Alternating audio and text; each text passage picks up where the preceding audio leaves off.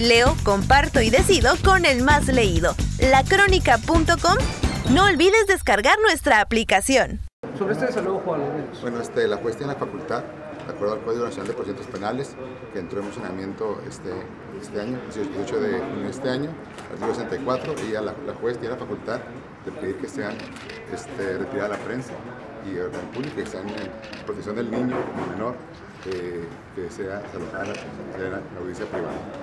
La facultad que le tiene ella, precisamente se- ella como juez puede realizar eso, ¿no? les pido la comprensión, desde ahí está eh, la postura de ella y hay que respetar la decisión del juez. ¿no? ¿En qué se diferencian en este caso conforme al caso de la nena anterior? Es criterio de, de- de cada juez, es criterio de, de cada juez en lo, en lo personal. Ellos, este, hacen una valoración de la situación, de los casos, y ellos se pronuncian. Y como este, comentaba, ella tiene la facultad para hacerlo, la ley así lo, lo permite. Y bueno, yo les pido nada la comprensión, estaremos nosotros informando lo que, se, lo que nos permita la juez informar, se les va a llegar en su momento.